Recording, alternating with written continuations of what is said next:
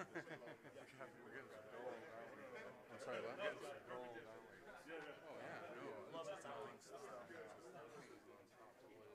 Oh, folks, one more thing. I got to see Yep. And that is a surprise because nobody escaped my watchful eye. Mr. Chad Bailey. I say you for that.